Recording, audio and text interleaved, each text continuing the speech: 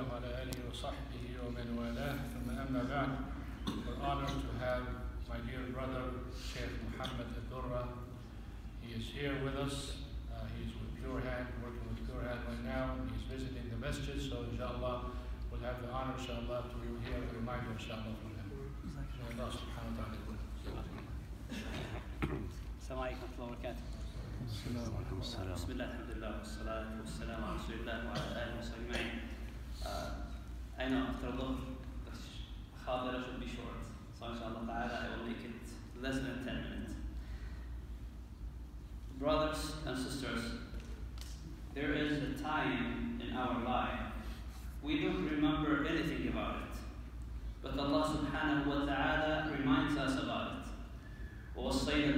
الإنسان إحسانا حملته أمه كرها ووضعته in the womb of our mothers, we didn't know how hard we were inside. We didn't know how much time we, you know, kicked our mothers from our from her, their side or from inside. But Allah subhanahu wa ta'ala is telling us that it was a hard time for our mothers. حملته أمه كرها ووضعته كرها. And when they delivered kind of agonies of death. Then we came to this life naked, crying, you know, uh, we had no power, so weak. But Allah subhanahu wa ta'ala blessed us with many different things. One of them is our knowledge. Some people they become doctors or engineers or whatever they have from you know the uh, uh, specific things in this life, and they forget the right of their mothers and the right of their fathers. So Allah subhanahu wa ta'ala is reminding us. حملته أمه كرها ووضعته كرها وحمله وفصاله ثلاثون شهرا حتى إذا بلغ أشده وبلغ أربعين سنة Subhanallah, Allah is reminding us about this age, 40 years. Usually in this age, you will have children. And your children should remind you about the right of your parents who are old if they're still alive. That's why in Surah Al-Isra, Allah subhanahu wa ta'ala is telling us, وَقَضَى رَبُّكَ أَلَّا تَعْبُدُوا إِلَّا إِيَّاهُ وَبِالْوَالِدَيْنِ ihsana. You have to try your best to treat your parents with the best kind of treatment. When you smile, bring the best kind of smiling for your parents. When you talk, try to bring the best and the kindest way to talk to your parents, especially when they are old. And when you give a gift, because sometimes we try to, you know, make our friends happy, our spouses, you know, people around us try your best to make your parents happy. Why? First, because it's their right. Second, they are your keys for Jannah. الوالد أوسط أبواب الجنة.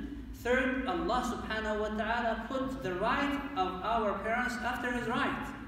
قال تعالى وقضى ربك ألا تعبدوا إلا إياه وبالوالدين إحسانا And uh, subhanallah, the hadith of uh, Abdullah ibn Mas'ud, when he asked Rasulullah sallallahu alaihi wasallam, what is the best kind of deeds toward Allah subhanahu wa ta'ala, he said, salatu ala waqtiha, to pray on time. Then he said, what's come after? Rasulullah sallallahu alaihi wasallam said, to be good to your parents. Birrul walidain. May Allah subhanahu wa ta'ala give us the ability to be kind, our best, you know, to our parents. Then Allah subhanahu wa ta'ala told us in the ayah, إما يبلغن عندك الكبر أحدهما أو كلاهما فلا تقل لهما أف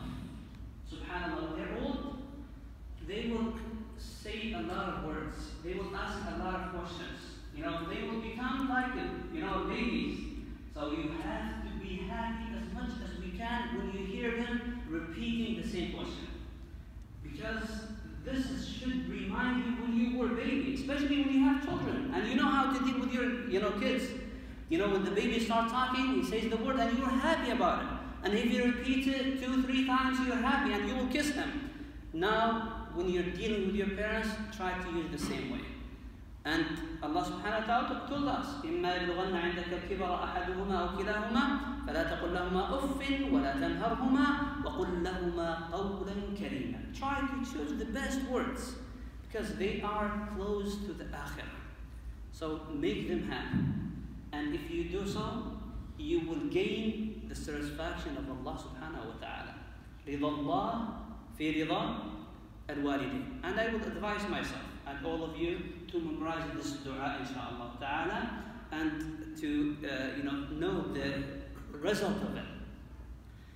وبلغ أربعين سنة قال رب أوزعني أن أشكر نعمتك والله يا إخوة and sisters this is one of the best du'as you know I, I learned from the Quran and the whole Quran is great this is remind us about ourselves our parents our children about this life and the life after ربي أوزعني أن أشكر نعمتك التي أنعمت علي وعلى والدي يا Allah give me the ability to be grateful to you as you blessed me and my parents. And you know, I want you, Ya Allah, to protect my kids and give me the ability to do the best kind of deeds so I will gain your satisfaction and make me from those who are Muslims and who repent to you. After you make this dua, ربي أوزعني أن أشكر نعمتك and this is in Surah Al-Ahqaf, ayah number 15 أن أشكر نعمتك التي أنعمت علي وعلى والدي وأن أعمل صالحا ترضاه وأصلح لي في ذريتي إني تبت إليك وإني من المسلمين Now the result.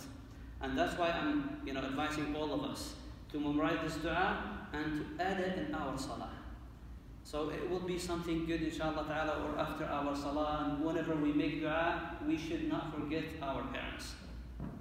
أولئك يا رب اجعلنا يا الله make us amongst them. ثاني أولئك الذين نتقبل عنهم أحسن ما عملوا. Those who you know did the right of Allah and the right of their parents, Allah will accept from them the best kind of deeds they did in this life. What about their mistakes? We have a lot of mistakes. We have a lot of sins. كل ابن آدم خطاء. Allah said in the Quran, وَنَتَجَاوَزُ عَنْ سَيِّئَاتِهِمْ We will forgive them their sins. Ya Allah forgive us. آمين Be أصحاب الجنة and they will be from the people of Jannah. And this is the promise of whom? Allah وعد الصدق الذي كانوا يوعدون. يا رب اغفر لنا ولوالدينا. ربنا أوزعنا أن نشكر نعمتك التي أنعمت علينا وعلى والدينا وأن نعمل صالحا ترضاه وأصلح لنا في ذرياتنا. إنا تبنا إليك وإنا من المسلمين. جزاكم الله خيرا. شكر الله لكم. السلام عليكم.